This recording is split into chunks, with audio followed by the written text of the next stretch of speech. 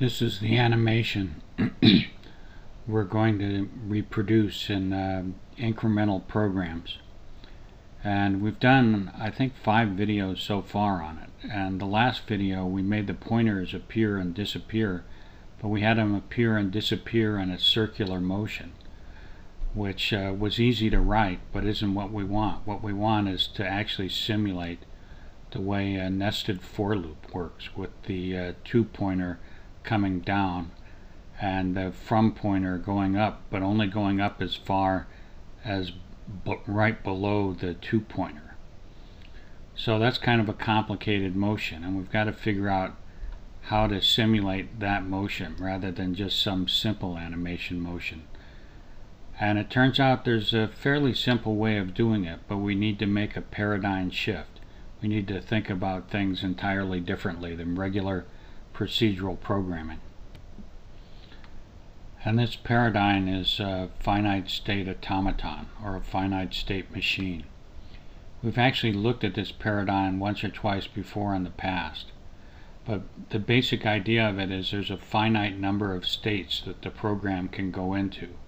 And when it's in different states, there's different things that it can do it's almost like a human in a way. When a human's depressed, you know, he, he cries and he mopes, and if he's happy, he laughs and he parties and whatever. So the different states of the program are, are like that, in that there's different things they do based on the state they're in. And one thing we want is a number of uh, integer constants that are used as symbolic values to represent the name of the state and then we need uh, state methods. Usually one method for each state. And what the state methods do is first they do the work of the state including updating what's called state variables that that are used in an initializing the work of whatever the state does. And then they ch check whether certain conditions exist and change the state if those conditions exist and two types of variables we need are system parameters, which define the limit of the machine, and state variables, which change as the machine run. They're really the the mechanism that works makes the machine work in a lot of ways. And then there's also usually a hub method that's sometimes called a traffic cop that checks the state and then calls the appropriate message method based on what state you're in and also an initialization method that defines the system parameter values and also defines any kind of global variables and graphics and animation objects and things like that that we need in order to get the whole system starting to run. So if we look at the new code behind, these are the four symbolic values that represent the four states, start processing, increment primary, which is the two pointer, decrement secondary, which is the from pointer, and done processing. And these are the system parameters we need to define the limits of the machine, the first node and the last node. And these are the uh, system variables, primary index and secondary index. And also, of course, FSA state, which is a variable that contains what state we're currently in and we need to change the pointer array. Before we had just one pointer array pointer of pointers and or a array of arrays. And in this case we need two. One for the primary which is the two pointer and one for the secondary which is the from pointer. Since these are now working relatively independently unlike the previous animation and the form load is the initialization method. So it sets the limits of the machine. The first node is 0 and the last node is 4 for our five directories. And it sets up everything in general the same way it was before with the solid brushes and the pins and the graphics and establishes the uh, interval and the event handler for the uh, tick function that actually implements the uh, animation. And then we get to our four state methods.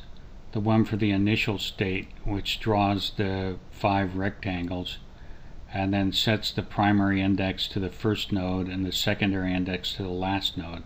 Because remember the two pointer starts at the first node and the from pointer starts at the last node.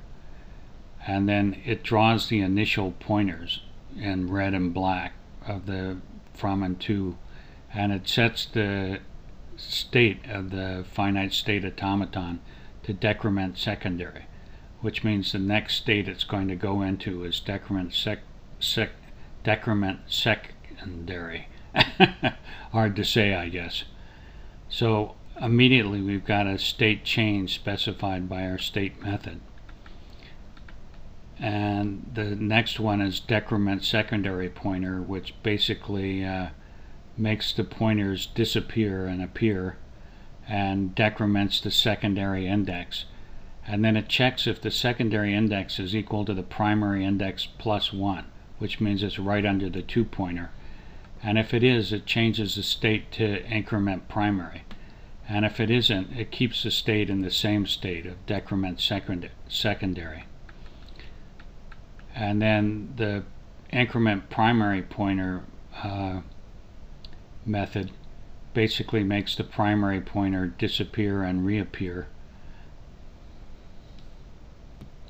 Or actually makes both the secondary and the primary pointer disappear in this code.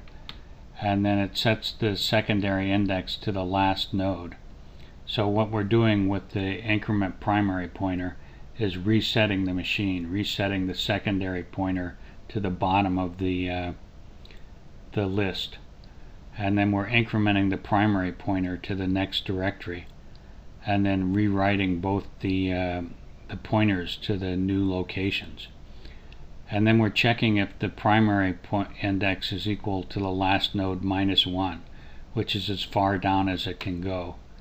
And if it is, we switch to done processing. Otherwise, we switch to decrement secondary. As you can see, most of the time we're in decrement secondary. It's the most active state.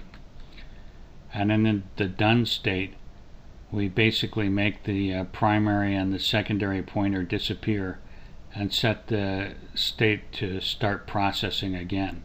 So if we specify continue going, we'll now be in the start processing mode. And this is the hub function I was mentioning. It's the step function. And remember the step function is called by the timer too. So this is really at the heart of the whole system. And basically what it does is check the FSA state. And depending on what state it's in, if it's in start processing, it calls the initial state method. In increment primary, it calls the increment primary pointer method send decrement secondary, which it is most of the time. It'll call the decrement secondary pointer. And if it's in done processing, it calls the done state. So this is really at the heart of all the processing. Everything goes through here and it redirects everything. It's a often called a hub method or a traffic cop. So if we compile and run this, and just hit the run. You see it starts in the initial state with the pointer, the two pointer at the top and the from pointer at the bottom. And then the two pointer keeps uh, going down and the from pointer keeps going up, but in a manner constrained by the rules of the machine. So we've essentially essentially accomplished what we wanted. It's probably the most uh, important video in a lot of ways because it's how we really get the simulation to work the way we want it to work. Well, I hope you uh, enjoyed this tutorial and learned a lot and I'd appreciate it if you'd subscribe.